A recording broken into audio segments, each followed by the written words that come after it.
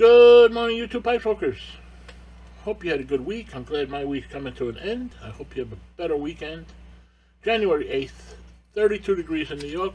Actually 25, heading up to about 34. A little cold snap.